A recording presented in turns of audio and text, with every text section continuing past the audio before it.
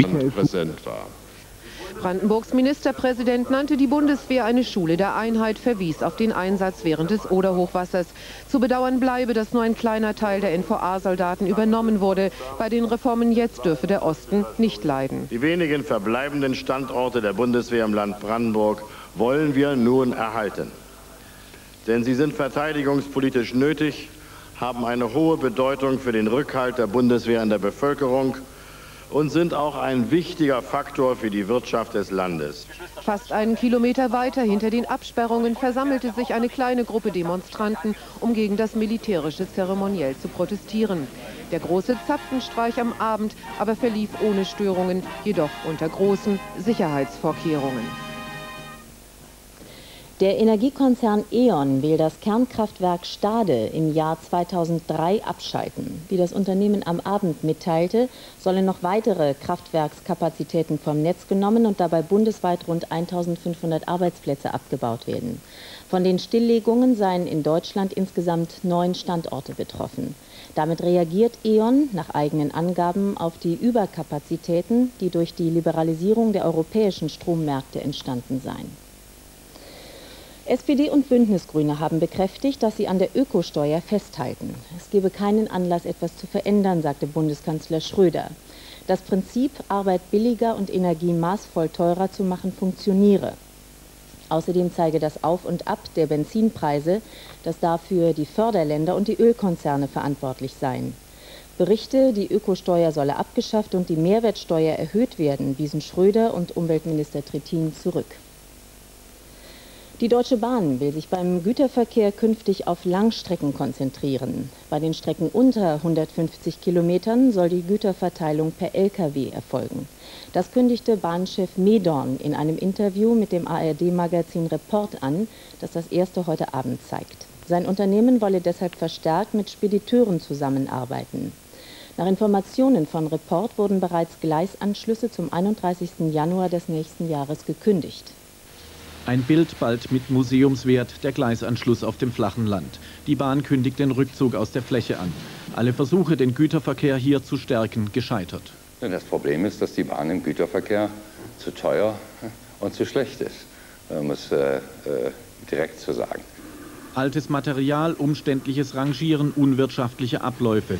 Bahnchef Medorn zieht die Notbremse, ähnlich wie seine Vorgänger schon vor Jahren im Personenverkehr. Er reagiert damit auf den fortschreitenden Bedeutungsverlust und dramatisch gesunkene Marktanteile im Gütertransport auf der Schiene. Dadurch, dass wir dort äh, Unwirtschaftlichkeiten abschaffen auf der einen Seite, können wir auf der anderen Seite mehr investieren und die langen Strecken, wo die Domäne der Bahn ist, mehr investieren und dort, ich sage mal, gesunde Frachtverkehre installieren und insgesamt für die Bahn mehr gewinnen. Das ist das unternehmensstrategische Ziel. Das Containergeschäft soll es in Zukunft bringen. Anlieferung per Lkw an wenigen Güterverkehrszentren statt überall im Land verteilten Gleisanschlüssen. Widerstand aus den Ländern ist vorgezeichnet, denn der Rückzug aus der Fläche bedeutet, dass zahlreiche mittelständische Unternehmen künftig keinerlei Bahnanschluss mehr haben werden. Für die rot-grüne Koalition in Berlin birgt der Medorn-Plan zusätzlich Sprengstoff. Künftig müssen nämlich noch mehr Güter auf der Straße transportiert werden, eine glatte Umkehrung der bisherigen verkehrspolitischen Konzepte. An der Frankfurter Börse hat sich die Talfahrt am Wochenbeginn fortgesetzt. Der deutsche Aktienindex DAX fiel bis zum Abend auf 6.683 Punkte. Auch der Index für den neuen Markt, NEMAX 50, stand unter Druck und verlor auf 4.556 Zähler.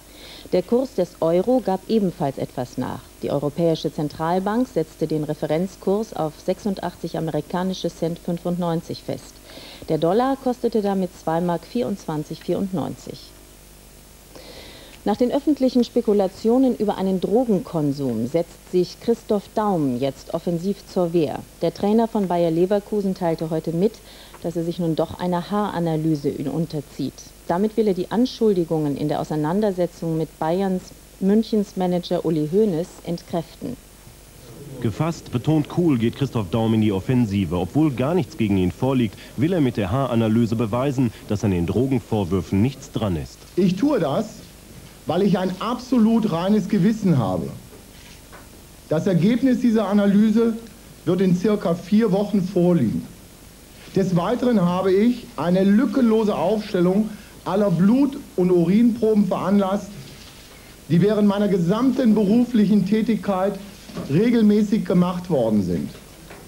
Seit Wochen ist der Leverkusener Trainer in den Schlagzeilen. Eine Anzeige wegen Unterschlagung, Gerüchte um Prostituierte und Drogenkonsum, aufgekocht durch alle möglichen Äußerungen. Doch in keinem Fall gibt es bislang Belege oder wenigstens ernstzunehmende Hinweise. Und trotzdem.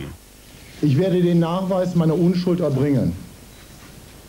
Zahlreiche Freunde und Kollegen haben mir zwar von diesem Schritt abgeraten, weil es nicht nur die Umkehr unseres Rechtsprinzips bedeutet, sondern auch eine Abkehr von den guten Sitten unserer Gesellschaft. Daum machte zudem deutlich, dass er auch weiterhin Nationaltrainer werden will.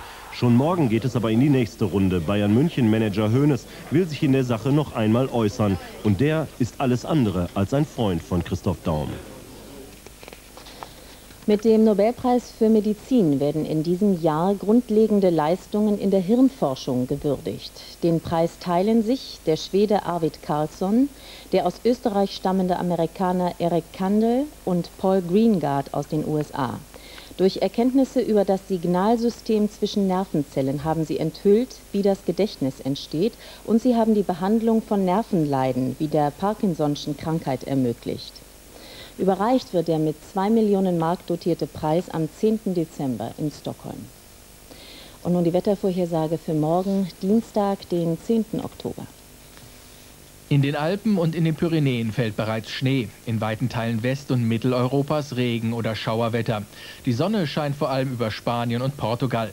Heute Nacht ist der Himmel im Süden und in der Mitte Deutschlands noch klar. Aber von Westen und Norden her wird die Bewölkung stärker und in der zweiten Nachthälfte beginnt es zu regnen. Das Regengebiet zieht ostwärts. Trocken bleibt es nur im östlichen Brandenburg und in Vorpommern. Die Sonne scheint höchstens mal am Nachmittag im Westen. Der Wind kommt aus Südwest, er weht mäßig bis frisch, kann aber an der Nordsee stürmische Böen mit Geschwindigkeiten bis 90 Kilometern in der Stunde erreichen. Die Temperaturen liegen in dieser Nacht zwischen einem Grad am Alpenrand und 10 auf den Inseln von Nord- und Ostsee. Am Tag wird es frisch. Die Temperaturen reichen von 9 Grad am Rande der Alpen bis 14 Grad, zum Beispiel im Nordosten. In den folgenden Tagen zeigt sich die Sonne selten, dafür regnet es häufiger. Am Mittwoch wird vor allem im Nordwesten starker Wind mit Sturmböen aus westlichen Richtungen erwartet. Folgen Sie uns zu den tiefen Wurzeln Australiens. Jenseits der Jagd nach olympischem Gold. Jetzt in Dreisat.